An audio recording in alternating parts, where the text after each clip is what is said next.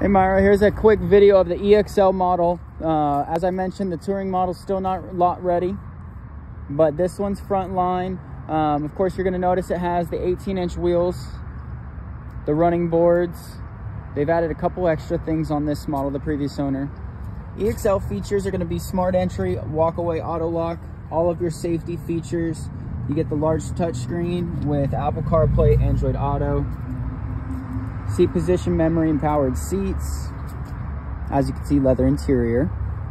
Full bench row back here.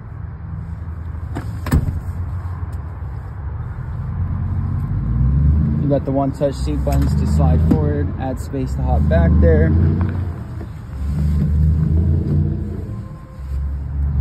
And tons of space in the third row as well